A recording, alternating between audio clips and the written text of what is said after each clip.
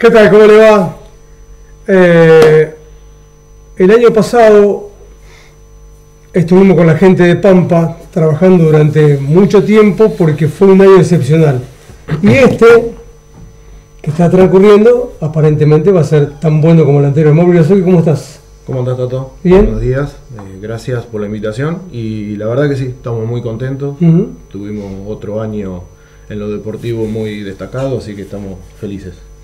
Eh, viene eh, las finales del torneo aquí en Salto.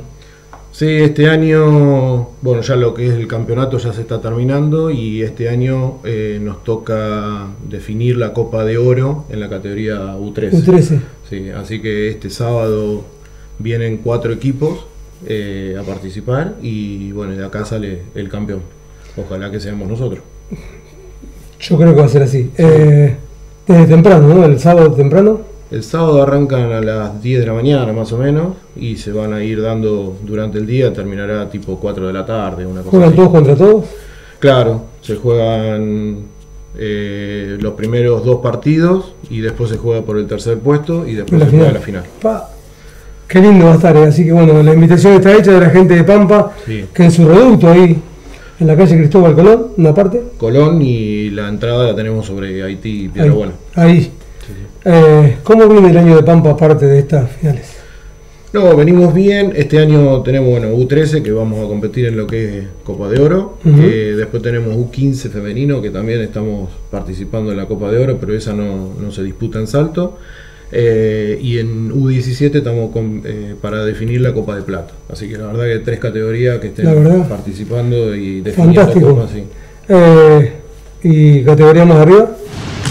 Y segunda, bueno, no llegaron a definir, quedaron ahí por muy poquito, lo mismo que Pero tuvieron un buen campeonato, Sí, los chicos nos contaron que sí. quedaron muy conformes. Sí, fue, se, se llevó a cabo un lindo torneo, quedaron por muy poquito para no, no entrar en la copa. Ujú. Lo mismo que en la categoría U17 también participó y anduvieron muy bien y quedaron por, por muy poquito por diferencias de, de puntos. Los infantiles, ¿cómo vienen? Contame.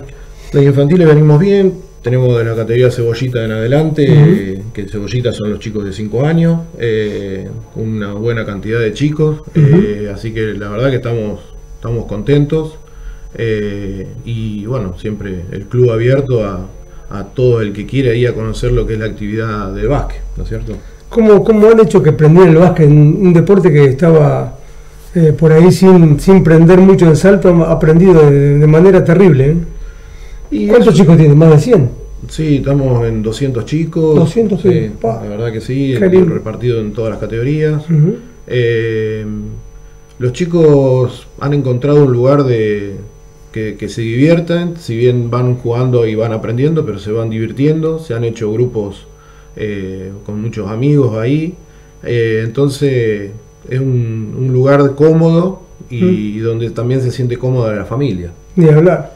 Mira las nenas, qué lindo que las nenas participen también, es importantísimo. Sí, sí, eso eh, en esas categorías son mixtos, se hacen, y después ya categorías más arriba se hacen eh, femeninos. Nosotros este año tenemos, eh, bueno, eh, U15 que es femenino, y, y bueno, también sumamos a todas las nenas que quieran participar para, para que se incorporen al club.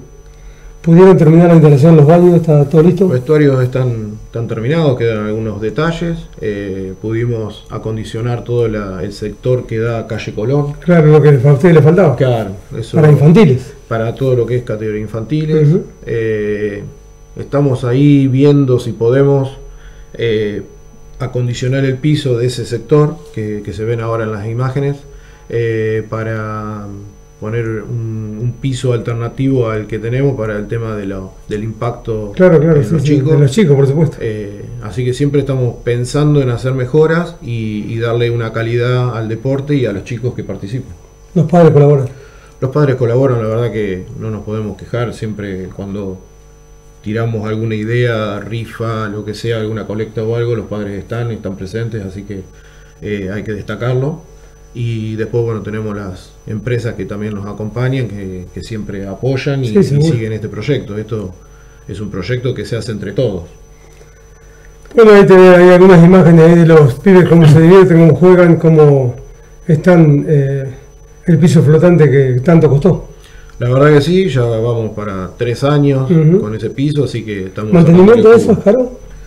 Sí, sí, es caro. Ya tenemos que hacer ahora dentro de dos años, tenemos que hacer un servi y ya es caro, es caro.